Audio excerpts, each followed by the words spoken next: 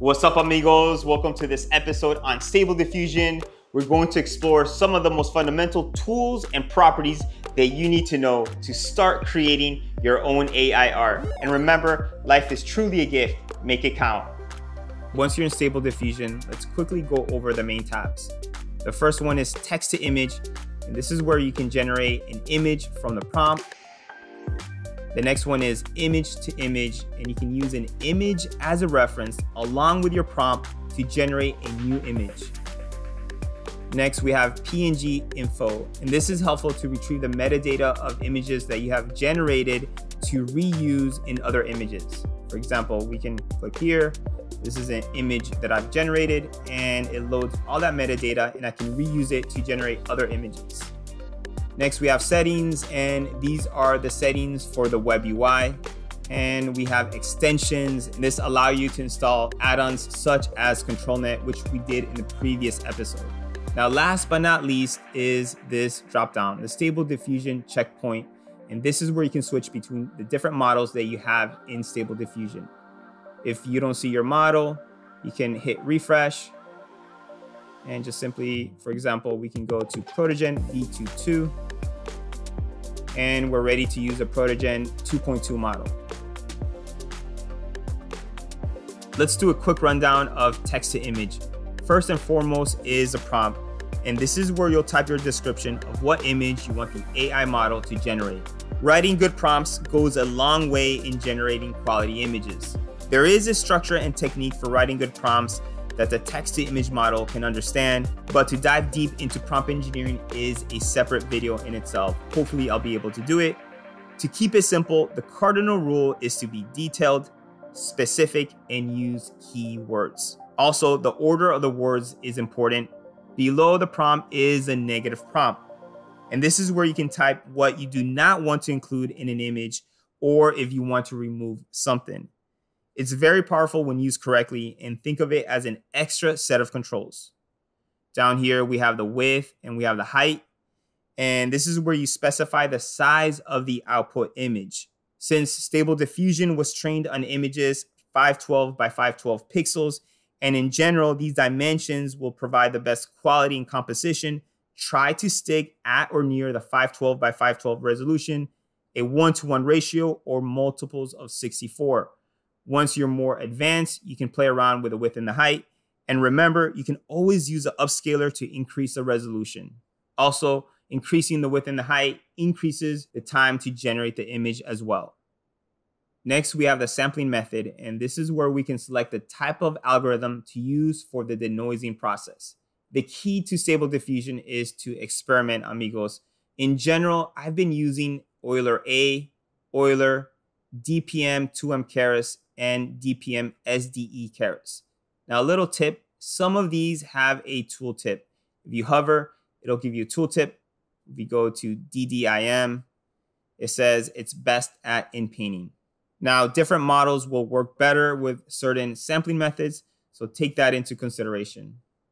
Next, we have sampling steps, and this is the number of times to diffuse your image. The AI makes several passes and modifies or improves the picture with each step.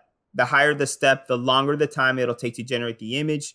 A good starting value is between 20 and 30. After a certain value, you'll tend to find little improvement or change. Next, we have the CFG scale for classifier free guidance. And this is how much the image will follow your prompt. A lower value in stable diffusion will ignore the prompt and make its own interpretation. A higher value keeps your image closer to your prompt. We can go all the way from 1 to 30. However, 7, a value of 7 is the default, and I recommend always starting at a value of 7. The next parameter is seed, and think of it as the unique ID for an image. A value of negative 1 means that it'll randomize or generate a new image every time you hit generate. Once you find a look that you like, you can lock or reuse the seed number to refine the look of your image. You do so by clicking on this recycle button. Batch count allows you to generate more than one image at a time. Some people like to generate four. I stick with just one. Tiling allows you to create seamless patterns. And restore faces is a post processing method to correct faces. I recommend checking this box when generating images with faces. If you're doing it for the first time, simply go to the settings, go to face restoration, make sure that you have CodeFormer checked, and it says zero equals maximum effect. Right now is between zero and one. We can go to zero, apply settings, and go to text to image and just make sure that it is checked. Hop over to the image to image and along with a prompt, negative prompt, and an image that we can upload, we can create a new image that follows the same look of this reference image. Now, if we scroll down, you'll find that we have all the same properties as in the text to image with the addition of two more. We have resize mode and we have the denoising strength. This is perhaps the most important setting in image to image. It tells the AI how much noise to give stable diffusion to generate a new image based on the image reference you're using. A low value and it sticks very close to the reference image, a high value and it starts getting creative, and generating an image farther away from your reference image. Think of it as how much creative liberty you're allowing the AI model to use. Typically, anywhere from 0.3 to 0.8 is a good blend between the style you're going for, but still based on your reference image. But now with ControlNet, you can get away with higher values, yet stick with the same pose or composition of your reference image.